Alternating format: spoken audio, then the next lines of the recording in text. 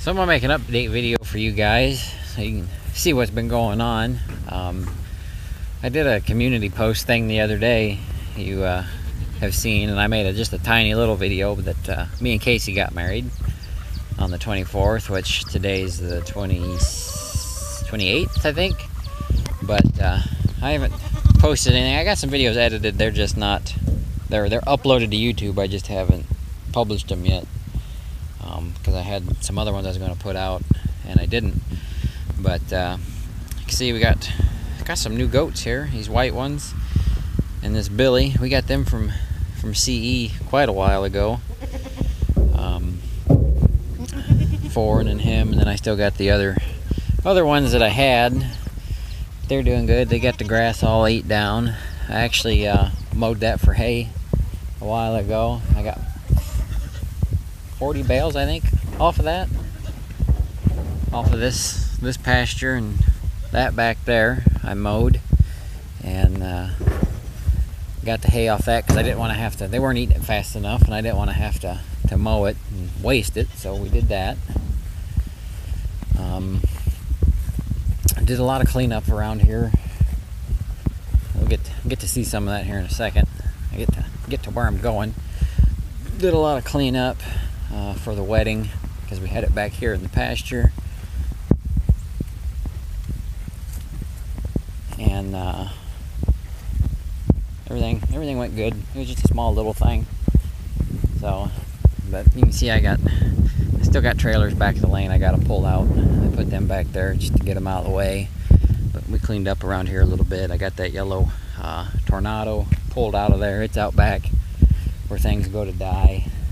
Um, pasture's been cleaned out a little bit. I got a couple things made their way back in. But uh, I want to put cows in here, but I don't have a way to get cows right now because my trailer's broke. We'll touch touch that in a second. But uh, here's something I I just got this actually Saturday, the day after uh, my wedding. This is this is actually kind of rare, and it, I don't usually get rare stuff but this is kind of rare and I just just stumbled upon it. It's a Massey Harris two-row self-propelled corn picker. I don't know which model, um, if they even had models, but it uh, they only made 9,216 of them. They made them from 1946 to 1955, and they were obsolete while they were still being made because the self-propelled combines come out about the same time. So they became somewhat obsolete. Uh, the front tires for it had calcium in it and the rims are completely gone. So these are actually the tires off my manure spreader. And uh, they fit on there. I got to get a set of rims and tires for the front and I need tires for the back. But this thing does, it does turn over and fire. I haven't had it completely running, but I've had it fire it, uh, it's got a six cylinder Continental in it, flathead. You can see I got some new wires on it. Those are actually for one of the F's, and I just stuck them on there just to just to try to get it running. But it does turn over and it hits, so I do a little more tinkering with it. It should run, and uh, it's been sitting in a barn for the better part of 20 years, but it looks like it should work. So we're going to tinker with it, if not, I'm not out much. I paid a whole $75 for this thing. And uh, the guy wanted somebody to buy scrap, and I seen it. So you know what? I'm not going to scrap it. I'm going to try to use it just, just to play with. It's kind of rare. So. so that's what we got there. These are the tires that were for it. As you can see, they they won't hold much air um, at all we got that. Uh, we'll go back here where we got some more projects hiding out. Because if there's one thing that we're not short of, it's projects. We're short on time, we're short on money, but we're never short on projects around here, as a lot of you know. Um, so, I can't get cows because of the trailer. Um, when we went out to get the goats from CE, I stopped by J.C. Smith's on the way back, and I was struggling to back into his driveway at his one shop It was it was not, more than 90 degrees facing the wrong way. So I was like jackknifing it in there, and I had to pull forward and back up and pull forward and back up. And he noticed that the rear axle was moving forwards and backwards a bunch, and he I crawled under it and he crawled under it and sure enough the weld was broke on this side. The other side's still holding but I got to get that fixed. That that whole trip to go out and get goats just turned into a disaster. It started off with my Dodge having issues with the uh, def sensor one of the def sensors was going out of it. I got halfway out there on the first trip to try to go and get them, and it put me in limp mode, or was going to put me in limp mode um, halfway out there, so I had to turn around and come back. And then on the second attempt to go out there, it did it again after I had it at the dealer. They uh, upgraded the computer, and that was not the problem. It needed a new sensor, so I uh, I just took my grandpa's truck and had issues with the trailer, but we finally got them, and all is good. So another project we got that uh, is going to happen. Um, you guys seen me working on the Mack forever ago, and I still have not gotten a master cylinder for it. I actually just called the dealership today, the Mack dealer, and wanting to know where my part was because I ordered it back in March. $150. Okay, it was supposed to be there at some point. You know, I understand coronavirus hit and uh, that's coming from France. So yeah, okay, it'll be delayed a while. Well, it's going into August. Haven't heard nothing. So I called him today, and uh, there's only one master cylinder on this end of the world for that truck. It's in Alberta, Canada. $180 plus whatever it would be to ship it here. So I'm going to look into another option for that truck, but that truck is for sale. If anybody wants that Mack midliner, make me an offer. It's for sale. As soon as that master cylinder gets on it, it's gone. I ain't even gonna fire it up. now I got probably gonna take it to a Ritchie Brothers auction for real though. Um, but another project that's on the list. You guys haven't seen this truck. I uh, well, actually, you have seen this truck, I believe. It come from where I got my combines from, and that uh, big Allis tractor. This is a C70 Chevy tandem axle with a dump bed. It was out there. The guy, uh, we worked out a deal. I don't exactly remember what the deal was anymore, but it's here. And I wanted it for parts for my C65. And uh, the only part I've robbed off of it so far was the dipstick. But I want to take this bed off, chop it down, and put it on the C65 because we're not doing the straw for the go-kart race anymore so I don't need the C65 really, but it's too good of a truck to get rid of. So I've decided I'm going to take this bed off and try to put on it. I need to build a tailgate for it, and it needs a little bit of work, but for the most part, it's good. The only part I'm worried about is you see how that mounts to the truck? It's got the frame notched there. I can't do that on the C65 because the spring shackles and a cross member are right there on it. So I'd have to make a subframe, I'm thinking, and then bolt that to the frame uh, with some plates up like this here. Oh, Jesus, break my ankle.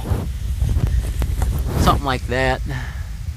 Um, but that's just just for the, the bed to come down in, but that's how I'd mount the subframe. And I don't remember if I even looked. Let me take a look. I don't remember how this hoisted up. If it was a cylinder or like a scissor lift deal. I'm thinking it's like a scissor lift deal. Um, I don't remember what that's called. Uh, I can't see. I'd have to pull it out of the weeds have to pull it out of the weeds. But I want to uh, make me a single axle dump truck. Since I'm going to be getting rid of the Mack. And uh, that's a project probably coming this winter. Here's another project. Um, this is a 78 camper. It's got a 454 in it, and I'm going to pull the 454 out. Basically, what I'm going to do is I'm going to take the camper off of the frame and build some kind of a hot rod out of that. Eventually, that's nothing. Nothing's going to happen tomorrow, but this was at my grandpa's house, and he'd been belly aching for years. He wanted to get it out. It's only been sitting there for 20 years, so um, I pulled it out, brought it here. This uh, hitch I made with uh, braces from the beams from bridges at work. Uh, this stuff is heavy, and these were some heavy duty hinges Dad had in the barn. And I actually built this hitch to pull that truck home. Um, on Instagram, there's a video of me pulling that truck home behind the 4010 with this hitch. And I pulled it using these two half inch bolts. Those are the only two things holding this hitch to the RV, and that was the only thing holding that hitch to that truck. My grandpa and buddy were freaking out because they thought them bolts weren't going to handle that little RV, which has it, it, it, it was a lot easier to pull that RV than it was to pull this truck. But I pulled this truck with them two half inch bolts right here in the bumper. I think I went to the bottom. I went to the top at one point or no, I was going to go to the bottom, but I ended up going to the top because I torched that one out. But that's how I pulled that home behind the 4010. Maybe I'm a little bit crazy, but oh well. So that's what's going on. Um, if I get a chance, I'll take you down and show you the corn and beans. Actually, I have the beans up here at the house. Um, I put nitrogen down on the corn Father's Day weekend and I sprayed both the corn and beans with Roundup. I got to come up with a better uh, herbicide program because the Roundup just ain't ain't cutting it. But let me uh, let me pause you for a second until we get up into the barn and continue the update there. All right here we are in the shop, and it hasn't changed since I made the little auction video, really. Um, there is one difference, though, this car. This is a 92 Toyota Camry that I bought for Casey to drive back and forth to work. And I have to uh, do a tune-up and stuff on it so she can ride it around. I got my lathe and stuff moved out of the way so I could get this in here. And I did do a little research on this lathe. I haven't uh, located a pulley yet for it, but this is a uh, a 1918 Model 34 lathe. So, if anybody was wondering, that's what it is, and that's about all I know about it. But I haven't done any work to this truck.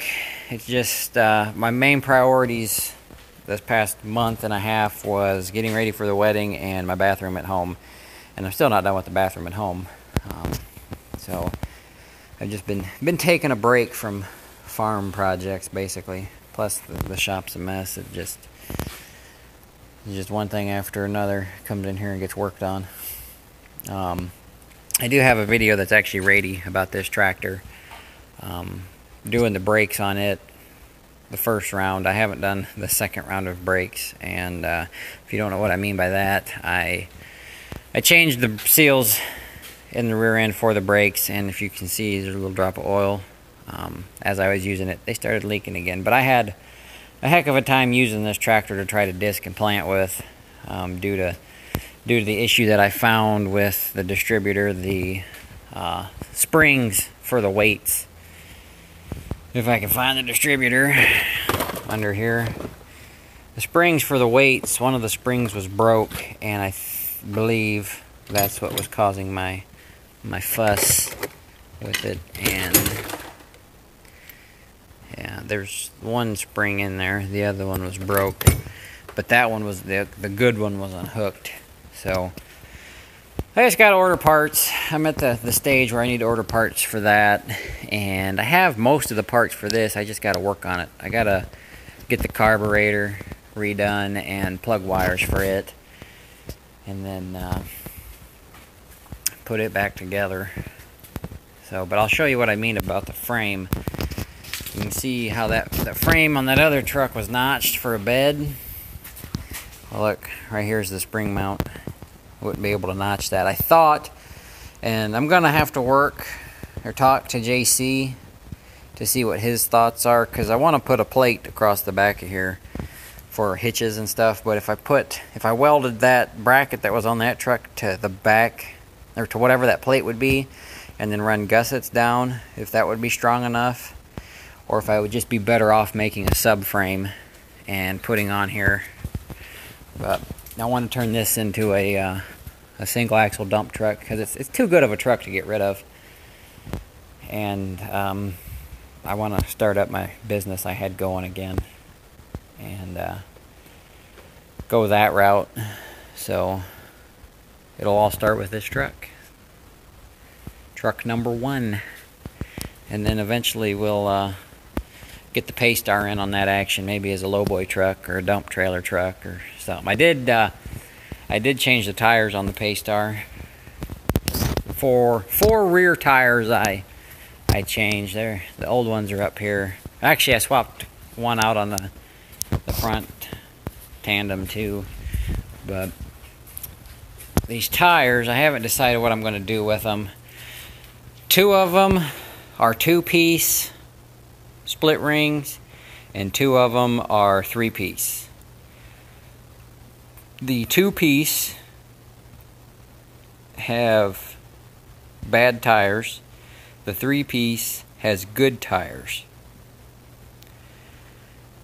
And I would like to switch them and just completely get rid of the three piece and just have these as spares for something because they fit farm equipment and stuff, but I don't have the nerve to change them, I don't think.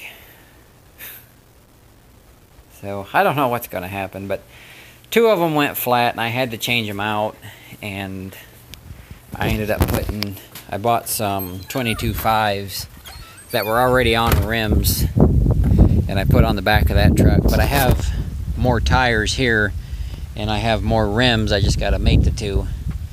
Um, I bought these at an auction a few years ago for two dollars a piece I, the only way to tell if they're good is to put them on rims and see if they hold air. So that's what I'm going to do. But I will uh, I will go down to the the field here in a little bit and show you guys what's going on down there. I'll catch up with you in a minute. Alright, so we're down here at the corn and beans. You can see I missed a couple spots spraying there and there and then these weeds have come up after I sprayed. But the Roundup just won't uh, won't do what I want it to do. But you can see the corn. Check out the corn. It's pretty tall. There's a couple of low spots. But I don't know what to tell you. This probably 24 rows on this side didn't get any nitrogen. I ran out. And I wasn't going to go back for another 20 gallons maybe. 40 gallons, I don't know. I put it down 40 gallon to the acre. I do need to bring the mower down here and mow where the beans aren't growing, just to kill the weeds. But yeah, check this corn out. Look, that one's got two ears.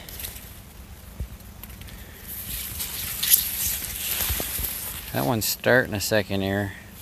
A lot of them are starting second ears, it looks like. That one's got second. And this this is just on the headland stuff. But it's it's up over my head. That's as high as I can reach. I can't reach the tassel. That's pretty cool. got some double-eared corn. I know that you that happens. It's it's not unusual, but I don't think I've ever seen seen so much double-eared corn. That one has succumbed to something.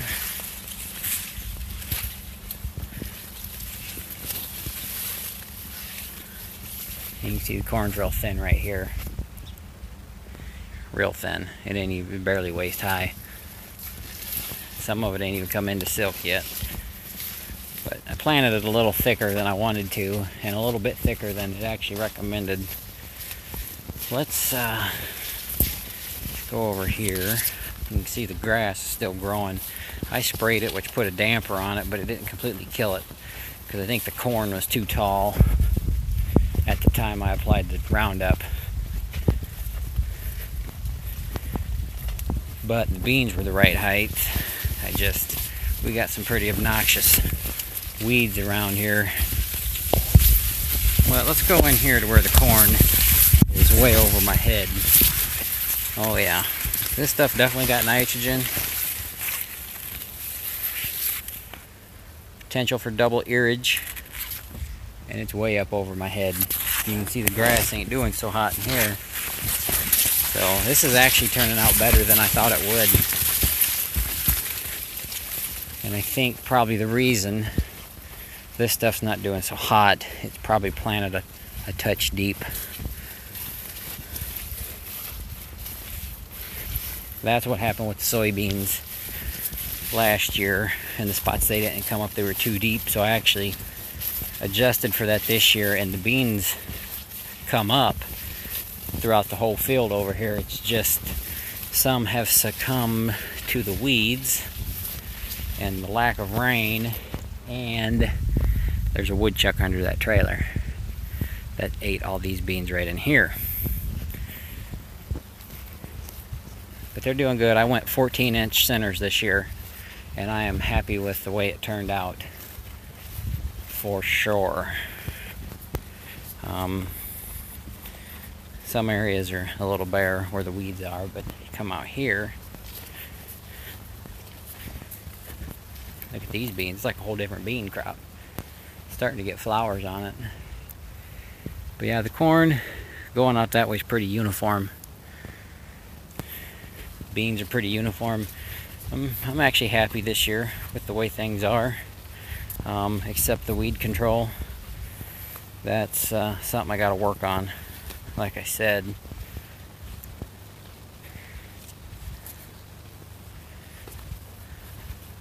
You see over here a spot that didn't get sprayed at all. The beans are not doing so hot.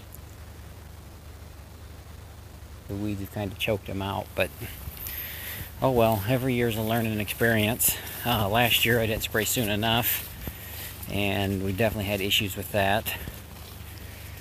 And this year I sprayed. Ooh, these beans are up to my knees. These are doing nice. Oh yeah, they're almost up to my waist. Right here. Check that out.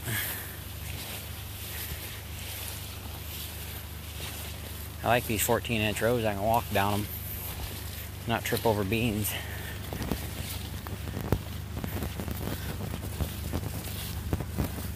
There's beans in here, it's just hard to see them. But definitely going to work on my weed program for next year. Might try uh, Liberty Link beans or something, give that a shot. I'm out, uh, I just finished working on the car, so I'm going to put that video up on my other channel. So, put some videos on there. But there's the uh, the crops. Oh, if anybody's looking for semi-trailers, give me a call. We're selling all but two of them. So, anyways, I'll catch y'all on the next one.